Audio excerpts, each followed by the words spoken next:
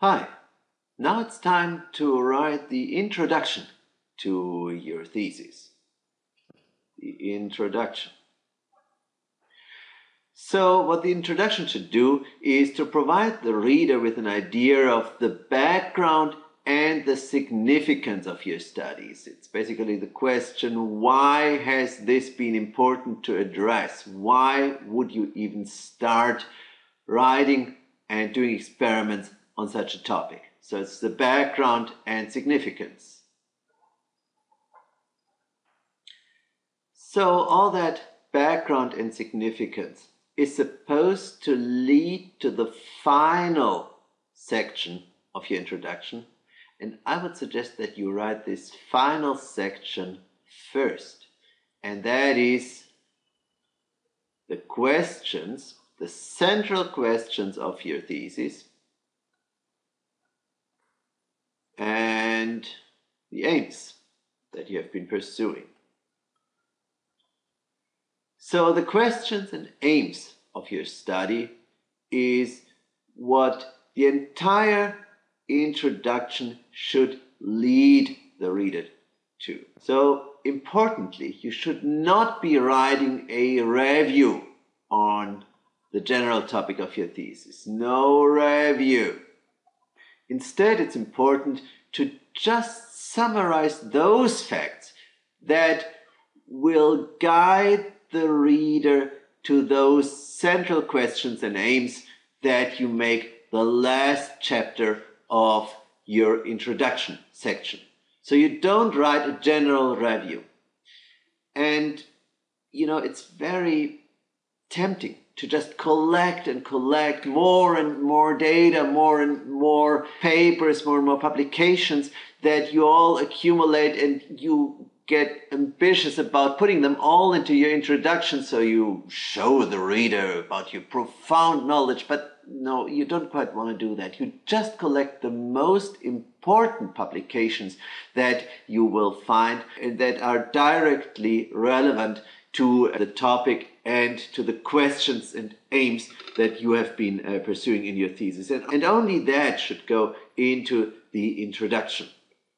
So ideally, you guide the reader by bringing up those most important pieces of background to understand the significance of your study and then make it a very natural consequence of that background that you're now raising that uh, question and that you are now pursuing that aim. That would be the ideal introduction. It should all lead to those questions and aims to be described in the final section of the introduction chapter.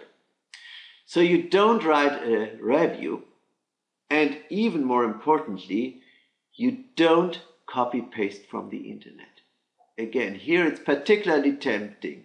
No copy paste.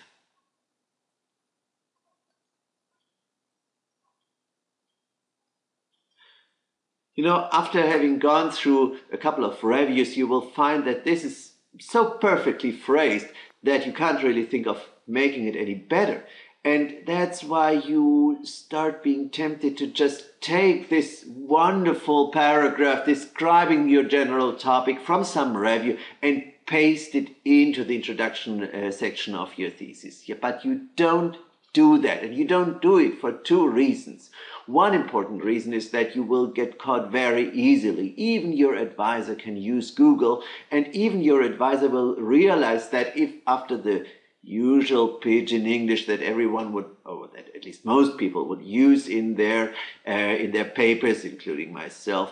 Uh, if you go from that pidgin English all the way to these perfectly phrased sentences that you have copy pasted from someone else's review, so it's very easy to recognize that. Believe me, and you don't want to get caught for that. That's one reason for not doing that. But the other reason is also that you're not supposed to write another review on your topic. You're just supposed to summarize the most important facts that will lead to the questions and aims of your introduction section. And that's why you emphasize different things than a general review would emphasize. You emphasize just that what is really relevant to the experiments and to the study that you have been performing. And that's the other major reason why you never ever do this copy paste thing. So having said that, you're ready to go. You now collect just the most important pieces of literature. You assemble them in a way that allows you to explain to the general readership why your study has been important or at least has been of some interest. Just think about your little brother or sister to whom you want to explain that.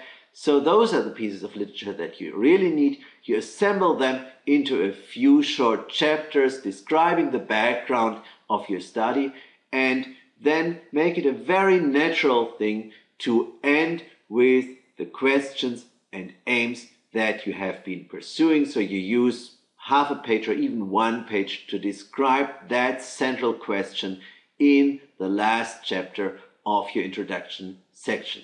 Having done that, you are ready and with the results chapter and the introduction chapter being written, you are now ready to start the discussion section. And that's what I'm going to talk about in the next video. Thank you.